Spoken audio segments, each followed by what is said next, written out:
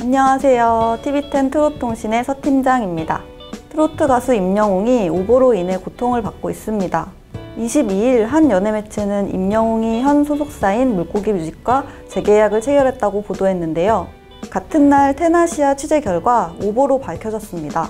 임영웅 측은 테나시아의 재계약 소식을 반박하며 물고기 뮤직과의 계약 사항에는 변동이 없다. 재계약을 체결한 일은 없다고 밝혔는데요.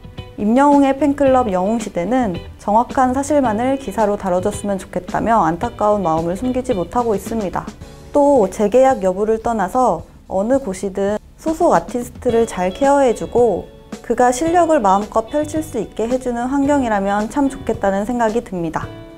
판단은 임영웅의 몫이니까 어떤 선택을 하든 그의 의견을 존중해주고 응원해주면 되겠죠? 다음은 임영웅의 유튜브 채널 소식입니다.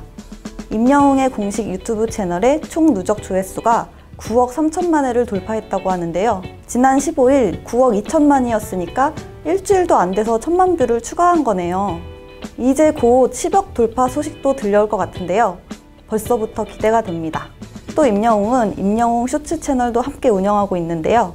이 채널도 최근 구독자 16만 명을 돌파했다고 합니다. 이 채널에는 30초 내외의 짧은 영상이 주로 올라오는데요. 짤막한 영상이 깨알 재미를 선사한다고 합니다. 특히 이 채널은 만든 지 겨우 21일 만에 10만 구독자를 돌파해 화제가 되기도 했는데요. 앞으로도 재밌는 영상 많이 많이 부탁해요. 지금까지 버릴 소식이 없어서 준비한 트롯통신이었습니다.